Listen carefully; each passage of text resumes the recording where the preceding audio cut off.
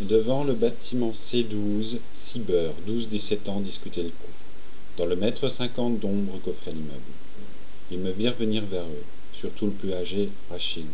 Il commença à secouer la tête et à souffler, persuadé que rien que ma présence était le début des emmerdements. Je n'avais pas l'intention de le décevoir. Je lançai à la cantonade.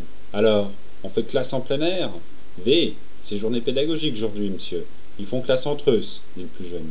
Ouais, voir s'ils sont assez balèzes pour nous entrer des trucs dans l'achetron, renchérit l'autre. Super. Et vous êtes en plein travaux pratiques, je suppose. Quoi, quoi, quoi? On n'a rien fait de mal, lâcha Rachid. Pour lui, l'école était finie depuis longtemps. Il dirait du lep. Après avoir menacé un prof qu'il avait traité de débile. Un brave gosse pourtant.